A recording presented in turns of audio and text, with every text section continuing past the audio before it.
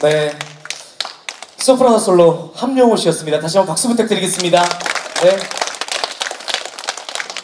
아, 케니지 Loving You는 언제 들어도 되게 행복해지는 그런 곡인 것 같습니다. 자, 계속되는 다음 곡은요. Antonin's New World라는 곡입니다. 아, 이 곡은요.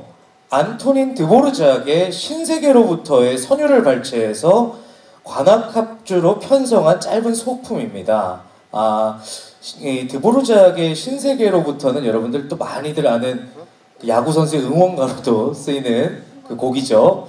그래서 아마 이 Antonin's New World를 들으시다 보면은 익숙한 이 멜로디를 들으실, 들으실 수 있지 않을까 생각이 됩니다. 다음 곡 Antonin's New World 박수 부탁드리겠습니다.